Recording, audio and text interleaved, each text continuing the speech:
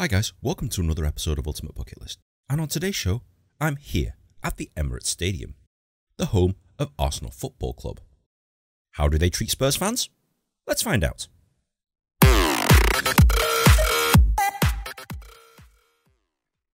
The Emirates Stadium. Built to replace the former Highbury ground, this is home to the Arsenal, the Gunners, the Red and White Army. This stadium holds just over 60,000 spectators. It's absolutely massive. And it's in its fair share of history already. But what's the stadium actually like to go around? Well, let's find out. After walking out to the tube station, it's dead easy to find. Literally around the corner and down the street, and you'll come across the tickets office. Up the stairs and across the Ken Friar Bridge, and you'll come across the Emirates Stadium. And boy, this place is massive. Seriously, the camera angle here really doesn't do it justice because it is a behemoth of a stadium. Everything here is giant sized. And it seems to be very popular with runners and dog walkers at this time of the morning. I'm not sure if this is a regular occurrence, so if you live around here, let me know in the comment section below if this is normal for people to use this as some kind of urban gym. But anyway, I highly recommend you walk around the stadium at least once and check out some of the cool features, such as the original Highbury clock, which is located at the clock end, the statue of Herbert Chapman overlooking it all, there's plenty of names engraved into the brick here, and Celebration Corner, highlighting some of the best players in Arsenal's history. Speaking of greatest players, I highly recommend that you check out the statues of Thierry Henry, Dennis Bergkamp, and Big Tony Adams. So when you get bored of that, you'll need to go downstairs towards the Armory store, and that's where the stadium tours actually start. So down these stairs you go, and the Armory store has these two giant cannons in front of it, so really, really can't miss it. Anyway, I'm armed with my Tottenham shirt, let's see what happens. Oh, hello there, what's this? What? No, no, what? Give me a watch, give me a watch, give me a watch. Give me a fucking watch, give me a fucking watch. Give me a fucking watch. Get out of here. Are you? This is the part where it turns a little bit sour. He'd obviously taken exception to the fact that I was wearing a Tottenham shirt and tried to steal my camera off me. The Armory store security guard jumped between us pretty quickly and I was ushered into the Armory store by a member of the Arsenal staff. Yeah, yeah, yeah. Do you usually get people like that? Huh? Do you usually get people like that? No. No, I don't know. What, what was he saying to you? No. I was reassured by the Arsenal staff that this is an isolated incident and this definitely doesn't happen every day. And incidences like that generally shake people up, but the staff here, especially Crystal, was very reassuring that I was actually welcome here. But I am okay here. Oh with- no, you're just don't be silly. Look, and it, yes, we're Arsenal. Yes, there's that Yeah, rivalry, yeah, North yeah. London derby. But look, you're more than welcome to shop in here, stay in here, whatever, whatever you're most comfortable with. That, that Okay. that's fine. Cool, so, yeah. was you planning to visit us today? It was very reassuring to know that Crystal and the Arsenal staff are very receptive of fans from any team, and she made me feel very much at ease here, so if she is watching, thank you very much. Anyway, it's time to check out some of the stuff they've got to sell.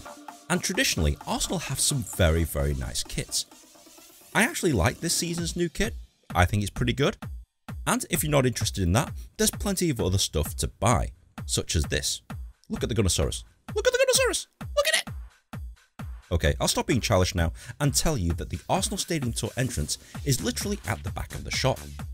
You can pay on the day, but I highly recommend that you book in advance. Hi, morning, bro. How's it going? How are you? Yeah, not too bad, not too bad. Thank you very much, sir. Thank you. okay? I see you're a fan of the Hotspur, yeah? No problem. Sure. No problem, okay? Nah, I'm actually a scumbag, but thank you very much for asking. Once you get your tickets, you get a set of headphones and you pick up your audio guide. After a quick bag check, you literally fire up the audio guide, press the start button, and it actually directs you as to where to go. The first port of call is, oh, it's a car park. Well, as far as car parks go, it's actually quite a nice car park. But at every station, there's a helpful member of staff looking to direct you or give you very interesting information. One thing that you'll notice almost immediately the attention to detail here is pretty extraordinary. Everything is very well designed, and they've got a lot of silverware on display, and we've not even got anywhere yet. The first protocol is the director's box, and these are some of the nicest facilities that I've ever come across in football.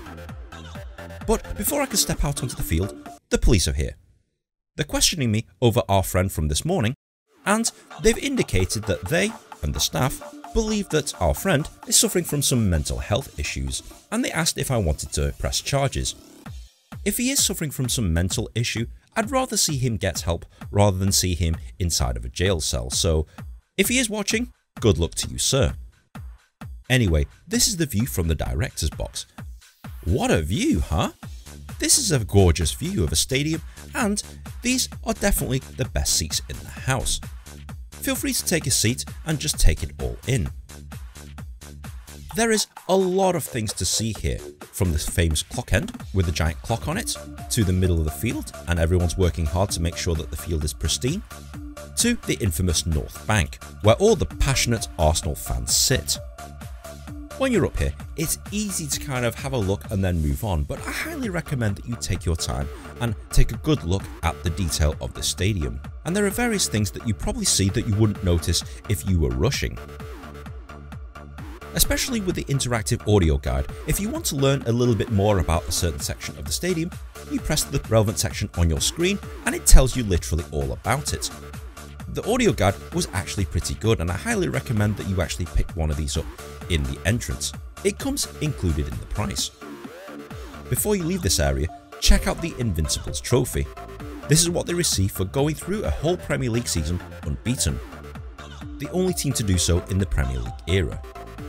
Next up is the Diamond Club, another exclusive club where people with money come to watch football games. And I had a nice conversation with Daniel here as to the eye-watering prices that people are charged just to sit in this place. But having said that, if I had the money, I definitely would. The attention to detail in this place is absolutely superb, and it makes me kind of want to buy lottery tickets now. Hmm. Anyway, it's time to go down the lift, and the first thing you'll come across is this time capsule that was actually placed here when the stadium was built. Future in here, you're halfway through the video, and let me tell you about the Arsenal competition. I'm actually giving away a goodie bag that I bought at the Arsenal store. Stick around to the end of the video to find out more. But in the meantime, back to the tour. If you've been sleeping under a rock for the last two weeks, Arsenal have just won the FA Cup for the record 14th time. And here it is. This is the FA Cup. The actual one. The real one. Not a replica. And you can have your picture taken with it. They'll obviously try and sell you this at the club shop, but it's actually kind of cool that you get to see the actual FA Cup. Not a replica. But anyway, the next stop is the pre-match tunnel. They've got a lot of cardboard cutouts here with your favourite players, so it's a good photo opportunity. You then head left into the Arsenal changing room. No, this isn't the changing room. That palatial thing over there is the changing room. In fact, this whole area is absolutely massive. I mean, look at the size of that cold tub.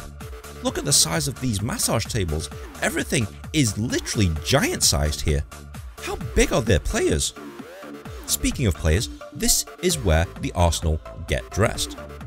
This is their famous dressing room, and once again, the attention to detail here is pretty amazing. Feel free to take pictures of you and your favourite player's shirt. If there's a tour guide around, which there usually is, it's a good time to ask questions about what happens in here, like where the players generally sit, what their pre-game rituals are, etc. It's pretty interesting to find out. Once you've taken your pictures of your favourite player's shirt and locker, it's now time to head on out.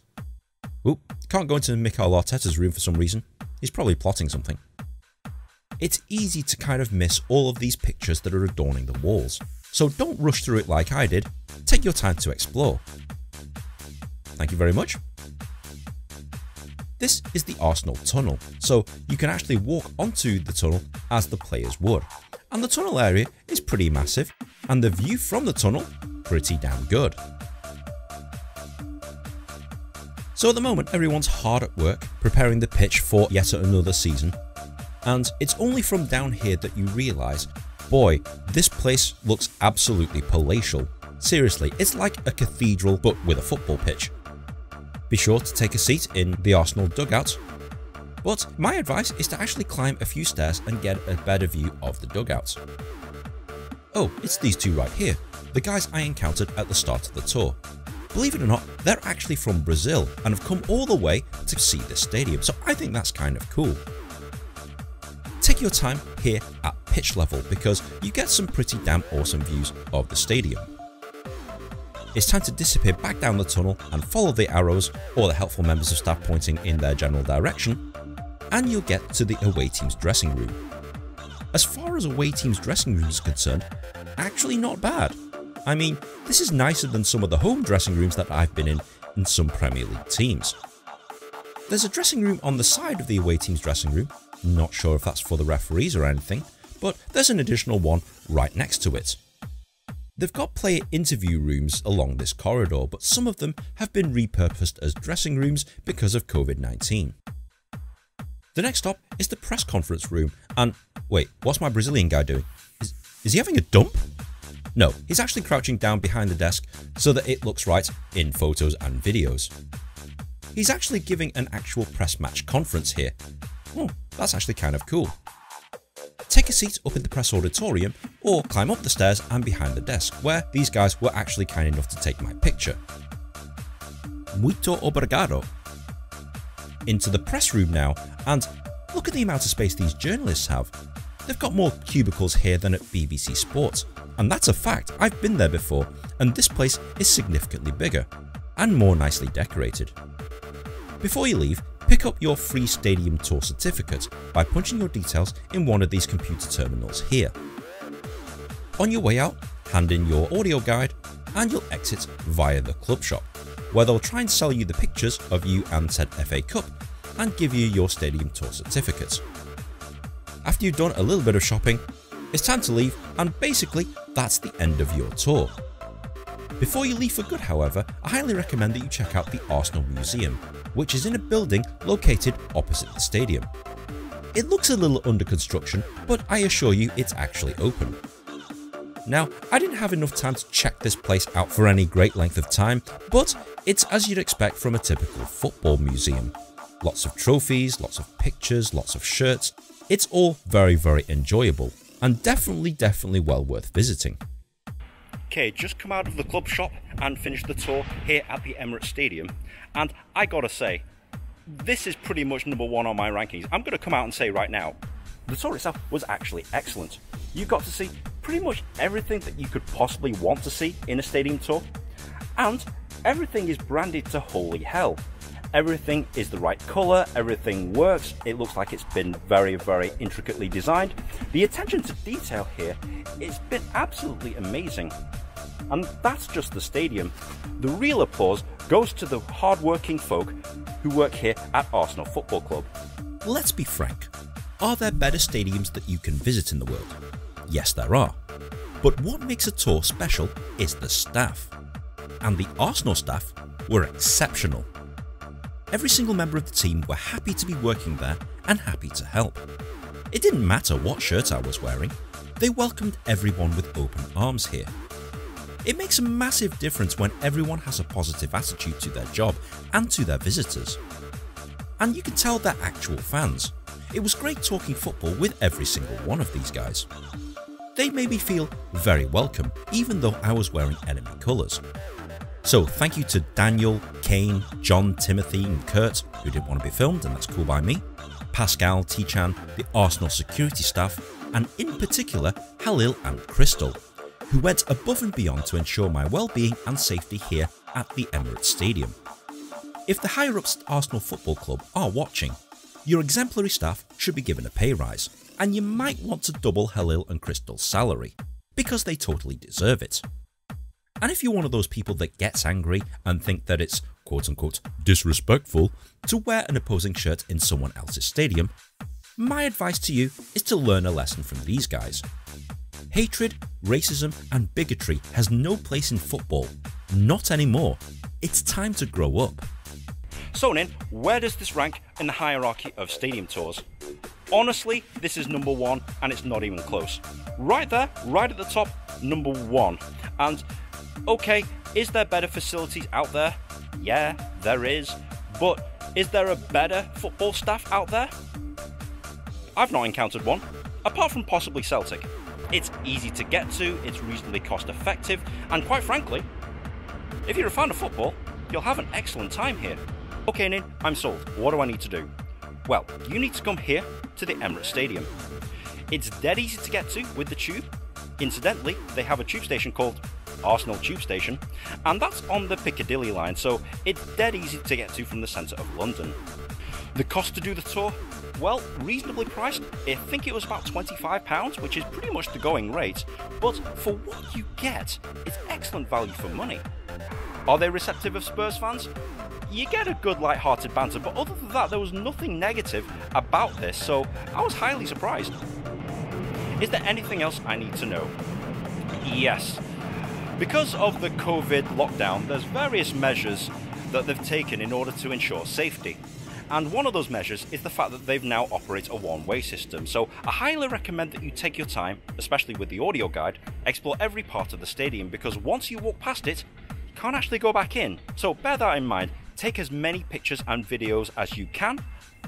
But other than that, there's nothing really to know, apart from come here, do the tour. I'm not kidding. If you're an Arsenal fan from across the world and you're umming and eyeing as to whether or not to go, for the love of God, go. Book your plane tickets, come to London, pay the money, and you'll have a fantastic time here. And furthermore, you'll be treated exceptionally well by the staff. So, Ninh, if I've only got time to do one tour, do I go to Arsenal or do I go to Tottenham? Well, on the next episode of Ultimate Bucket List. It's happened again. I know, I know. Shame. They do out there. Hello again. Hi. Guys, it's competition time, and I'm giving you the chance to win this Arsenal goodie bag that I bought at the Armory store, comprising of keyring, pin badge, this cool looking retro logo scarf, any Arsenal shirt in your size, in your colour, and housed in this rather attractive fetching bag. To win, follow the link in the description below and enter as many times as you like. I know you guys love the stadium tours, so it would help me immensely if you share this content because it would give me a bit more impetus to make more. So help me out by sharing my content across the world and win some stuff at the same time. So guys, I hope you've enjoyed the tour today, and if you have enjoyed this video, please be sure to like, share and subscribe. Comment on the comment section below, and if you've got any other suggestions for bucket list ideas, you know what to do. If you get enough suggestions, I'll go ahead and do that. So guys, thank you very much for watching, and we'll see you in the next episode. To get to from the centre of London. Ah, be blinded by sweat. Ow. So from Crystal I hope I'm not just like being blinded with sweat through recording all of this.